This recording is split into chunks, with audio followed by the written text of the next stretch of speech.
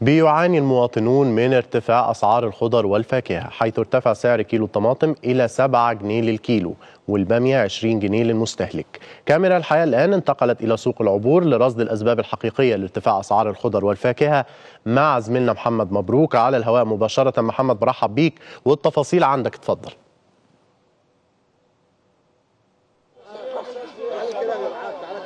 مساء الخير شريف. اولا نحن الآن في سوق العبور وهذا هو سوق لجملة يعني السلع والخضروات يعني لوحظ منذ دخول السوق ربما حالة من الركود في حركة البيع. مع ذلك هناك حالة من تصاعد شكوى بعض المواطنين لدى تجار التجزئة ولدى بعض المواطنين من ارتفاع أسعار عدد من سلع وخضروات مثل الطماطم والبامية والكوسة. معي لمزيد من التفاصيل أحد تجار سوق العبور هو التاجر أحمد فؤاد. أهلا بيك فندم. أهلا بحضرتك. يعني خلينا أسأل حضرتك عن حركة البيع الأول في السوق عاملة إزاي؟ حركة البيع في ركود طبعا ما فيش شغل.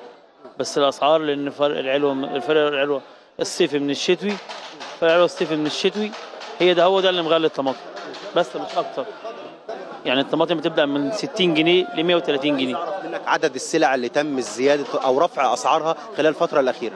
هي الطماطم والبامية عشان لسه جديدة والفلفل الأخضر بس.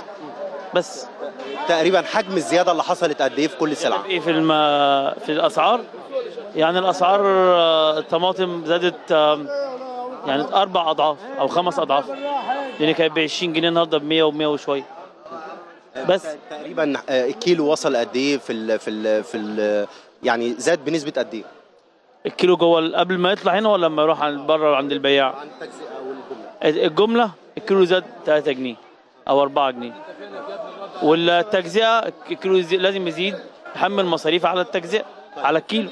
لي أسباب الزيادة دي. يعني ليه الزيادة في هذه الفترة تحديدا؟ عشان فاصل أنت حضرتك كنت في موسم شتوي.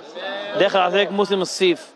فالفرق العروه الصيف من عروه الشتاء الطماطم بتبقى قليلة فهو ده اللي مغليها.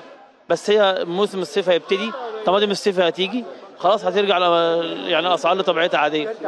بس أنا أعرف إن الطماطم تحديدا مثلا وده وده يعني كل الناس تقريبا بتتكلم عن الطماطم يعني اتسحبت من الصعيد واتسحبت من الفيوم والمتبقي دلوقتي اللي بيعتمد عليه تجار الجملة هو محافظتين تقريبا وهي إسماعيلية وال... آه محافظة إسماعيلية ومحافظة الشرقيه كل الفيوم خلصت والصحراوي خلص بس هي اللي شغالة إسماعيلية والشرقية هل الأزمة دي مستمرة مع المواطنين إلى رمضان المقبل؟ لا لا قبل رمضان إن شاء الله تتحل بإذن الله بس منتظر إن الأسعار تتراجع بنسبة قد إيه؟ ده في خلال إمتى؟ قبل رمضان ولا يعني هي تاخد لها كده 10 أسبوع 10 أيام أو أسبوع. بس. وبعد كده ترجع لطبيعتها عاديه طيب في كلام إنه إنه إنه بعض يعني في استغلال لرفع الأسعار من بعض التجار وإنه بص حضرتك هو ما فيش استغلال ولا حاجة. هو المعروض قليل والعرض قليل واللي هو السحب أكتر. فطبعا هي دي هي دي اللي مغلي السلعه هو ده اللي مغلي السلعه بس. بشكرك يا فندم. شكرا. تحت امرك ألف شكر.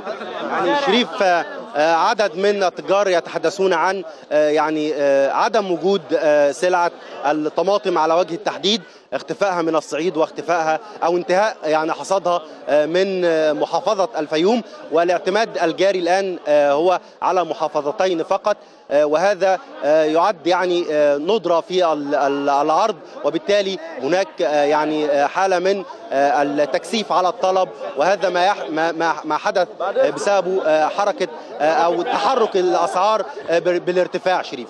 هذا هو الوضع الآن في سوق العبور. بشكرك شكرا جزيلا زميلنا محمد مبروك. شكرا على كل التفاصيل. الواقع إن التاجر شرح الأسباب لكن اولا وأخيرا دي مسؤولية الحكومة المصرية والمهندس إبراهيم محلب كما تابعنا إن هو عقد اجتماع أو بيعقد في هذا الوقت اجتماع مع وزراء المجموعة الاقتصادية لمناقشة أسباب ارتفاع الأسعار.